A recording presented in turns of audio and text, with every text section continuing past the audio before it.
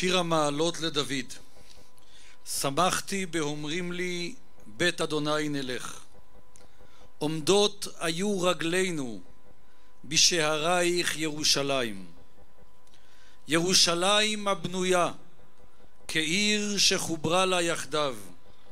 ששם עלו שבטים שבטיה עדות לישראל להודות לשם אדוני כי שמה ישבו כסאות למשפט כסאות לבית דוד. שאלו שלום ירושלים ישליו אוהבייך. יהי שלום בחילך שלווה בארמנותייך. למען אחי ורעי אדברנה שלום בך.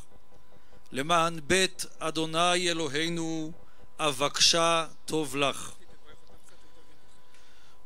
ראשית אני רוצה לברך את שר החינוך נפתלי בנט על היוזמה הנפלאה שלו, של משרד החינוך, של משרד התפוצות, להביא לכאן סטודנטים, לקרב, לחבר, איך אמרנו בתהילים, העיר שחוברה לה יחדיו, שעושה את כולם חברים. אתה מוביל את זה, יישר כוח, ותודה רבה לך.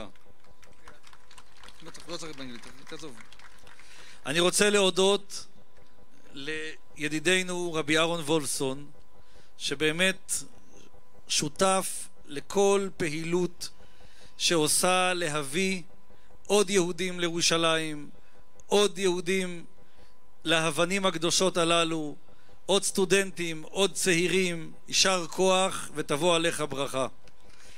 אני רוצה להודות לסולי ולאנשי הקרן למורשת הכותל המערבי ששותפים ומובילים את הפרויקט הנפלא הזה של השבועה לירושלים לא רק של אלה שנמצאים כאן וחיים כאן אלא גם אלו שנמצאים בפזורה, בתפוצות.